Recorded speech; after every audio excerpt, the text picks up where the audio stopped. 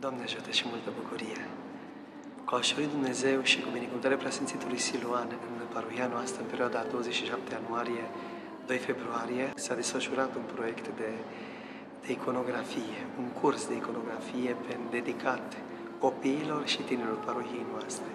Ne-am bucurat tare mult de faptul că ne-am organizat în două grupe de lucru, având ca profesoară și ca îndrumătoare în proiectul nostru pe domnișoara Claudia, venită tocmai din Irlanda, o tânără studentă care, să spunem, cunoaște bine tainele iconografiei ortodoxe și care, cu multă dragoste, cu multă răbdare și cu multă dăruire, ne-a deslușit și ne-a învățat uh, cum să descoperim tainele lucrări iconografice.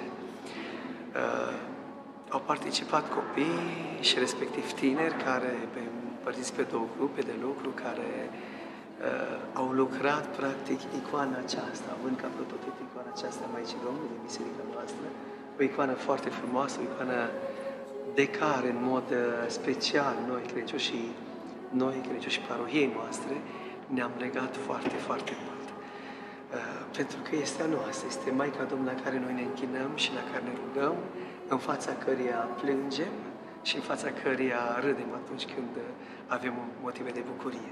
Uh, proiectul s-a desfășurat uh, foarte frumos, a fost aducător de multă bucurie în inimile copiilor și a tinerilor. Spuneam și când am uh, promovat acest proiect că nu intenționăm să facem, să transformăm pe toți în, în mari pictori, dar totuși dorim să profităm de această, de această experiență pentru a deschide orizonturile de înțelegere a copilor și a tinerilor din parohia noastră, pentru a putea vedea cu alți ochi o icoană a Maicii Domnului în cazul acesta, sau orice fel de icoană care ar vedea-o, pentru că în momentul în care lucrezi și treci prin toate etapele elaborării unei icoane pictate pe lemn, ai, altă, ai un alt mod de, de, de a interacționa cu Sfântul sau în cazul acesta cu Maica Domnului pe care au pictat-o ai un, ai un alt mod, dobândești un alt mod de a înțelege această taină a întâlnirii tale cu Dumnezeu.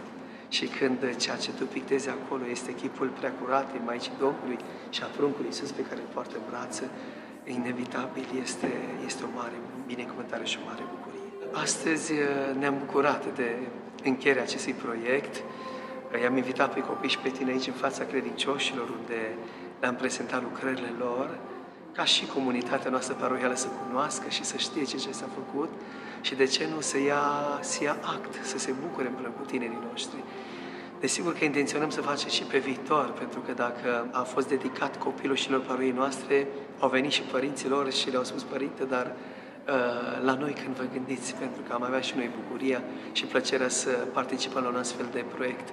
Și în cazul acesta ne gândim pe viitor să redeschidem, să reiterăm practic această experiență minunată, acest proiect și să-l dedicăm de această dată o aletă mai deschisă, să spunem așa, uh, vis-a-vis de, de grupurile țintă și să-i adăugăm acolo și pe, și pe părinții copiilor care, care doresc să participe, pe credincioșii parolee noastre, pe cei maturi, care doresc să participe la această, la această lucrare, să spunem.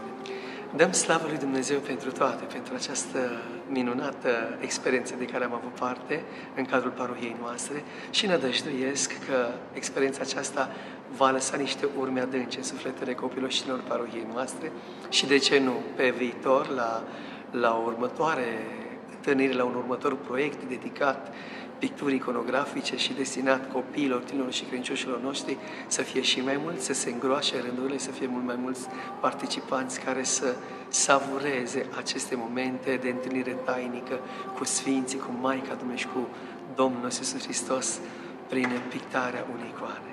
Dumnezeu să binecuvinteze, Dumnezeu să ajute și mulțumim lui Dumnezeu pentru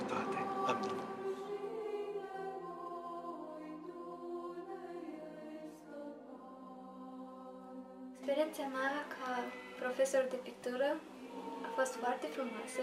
Am avut niște copii minunați în atelier care și-au deschis sufletul și au ascultat cu grijă ca să facă tot ce este mai bine la icoana lor. Plec acasă cu gândul că acești copii au descoperit și ei ce înseamnă să faci o icoană de la început la sfârșit au descoperit în ei poate talente pe care nu știau că le au și uh, în același timp bucuria de a fi fost împreună cu niște copii și niște adulți minunați. Ce te-a făcut să participi la acest curs de iconografie? M-a motivat uh, să învăț uh, această artă, ca să zic așa, și mi-a stârnit uh, interesul și mulțumesc Dumnezeu că ne-a binecuvântat cu această ocazie, uh, datorită părintelui, uh, doamnei preotese și Claudiei. Ne mulțumim pe această cale. A fost o bucurie de plină. Mie personal mi-a bucurat sufletul. Pentru mine icoana înseamnă că e sfântă și tot timpul mi-a plăcut să desenez.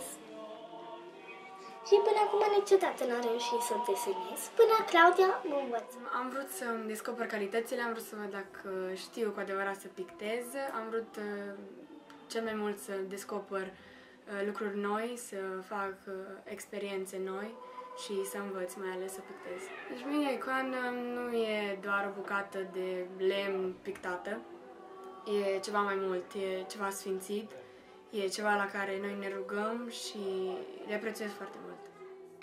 Ce ți s-a părut cel mai greu la acest curs de iconografie?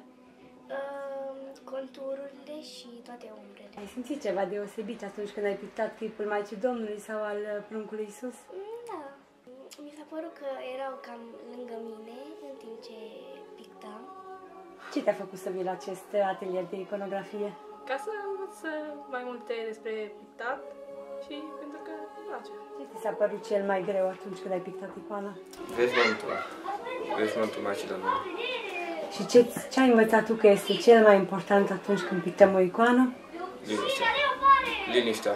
De ce ai participat la acest atelier de iconografie? Pentru că a, a, aș vrea să învăț cum să pictează o icoană.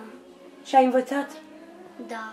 Care e lucrul cel mai important atunci când pictăm o icoană? Să ascultăm. Și care a fost cel mai greu lucru pe care trebuie să-l faci acolo pe icoană? Vermântul a fost uh, lucrul cel mai greu de pictat. Atelierul ăsta m-a făcut să particip, că eu de multe ori pictez icoane, doar că pe foaie și cu pixe. Și nu-mi place. Adică nu le fac frumos. Și acum, pentru cum a învățat Claudia, am făcut o icoană mai bine decât o fac eu de obicei. Ce ai simțit deosebit? Roșul ăsta, al lui Vășmântului Maica Sfântă, nu e roșu comun. E un roșu sfânt, pentru că e pictat pe Maica Sfântă.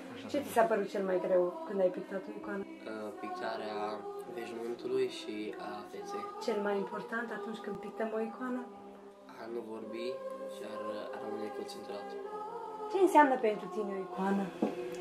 O fereastră cu care poți să comunici mai bine cu Dumnezeu.